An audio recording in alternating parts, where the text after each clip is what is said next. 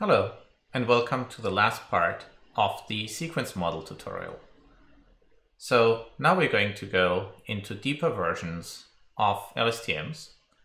And this is going to be by necessity fairly cursory because we simply only have a finite amount of time available.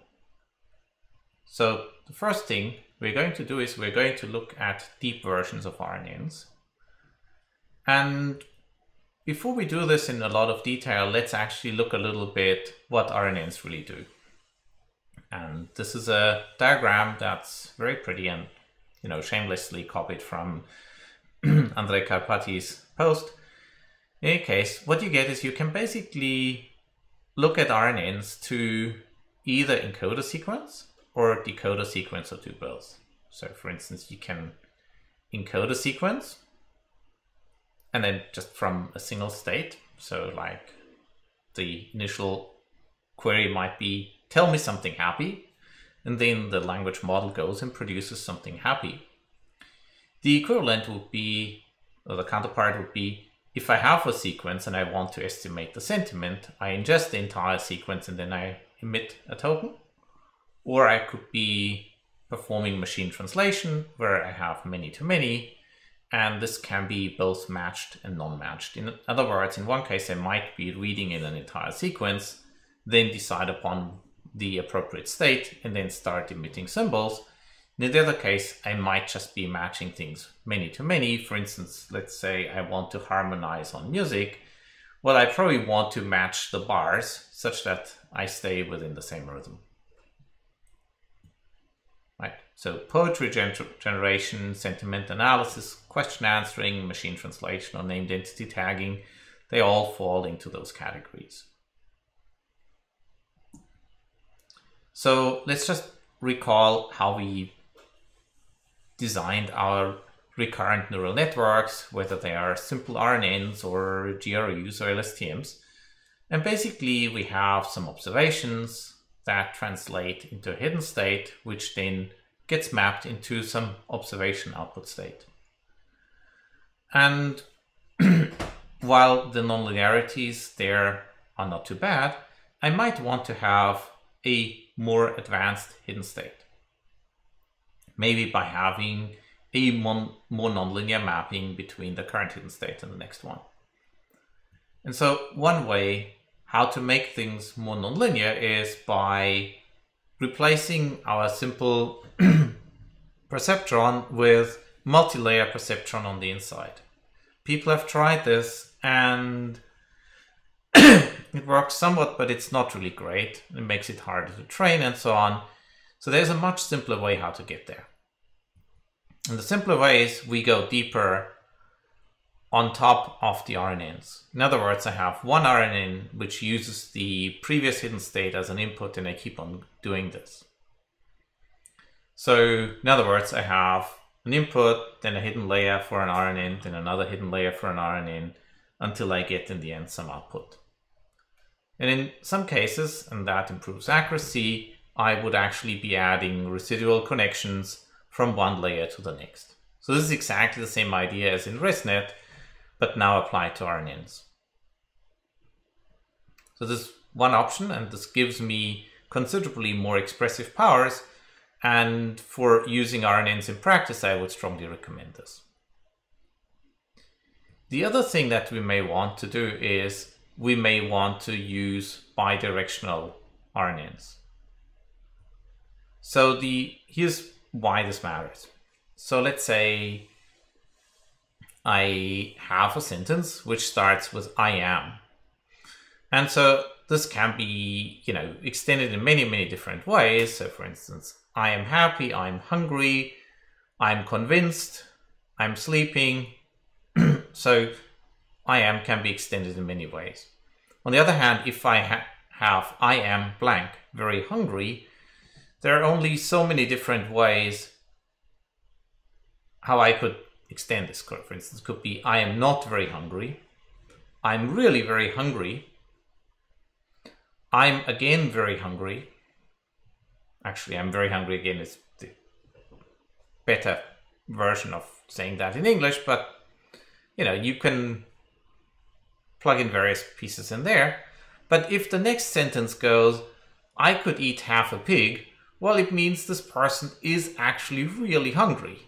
So they probably wouldn't be saying, I'm not very hungry, I could eat half a pig, unless they're a dinosaur for whom maybe half a pig is a small snack.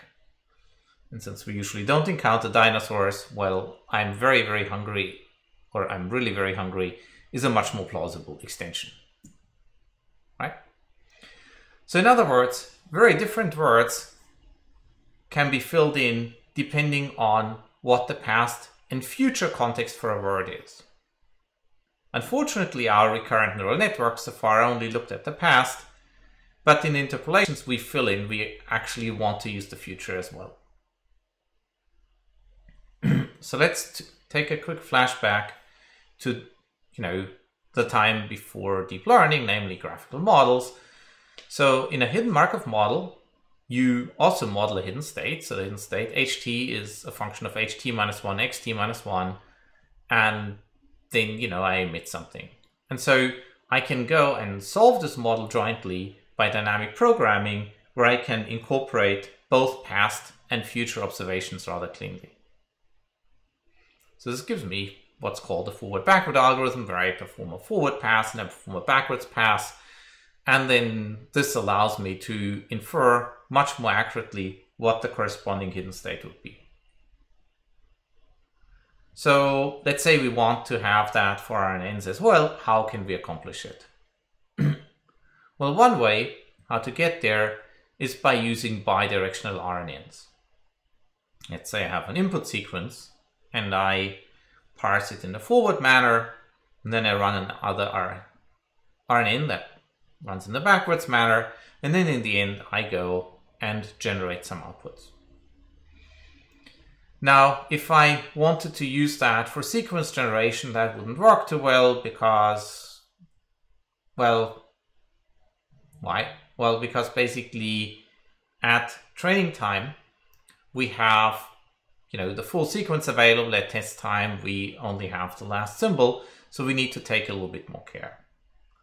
There are different ways on how to address this, and this is something that we're going to cover in the next chapter, namely when we talk about transformers. But for now, let's just keep in mind that if you use bidirectional RNNs, you need to take care about how to generate the next symbol in a meaningful manner.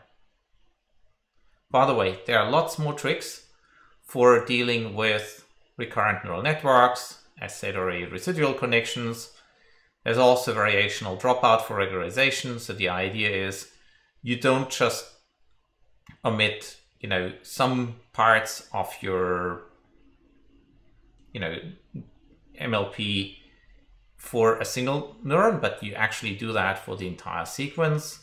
Um, the variational is kind of a red herring there. It's really dropout where you tie terms.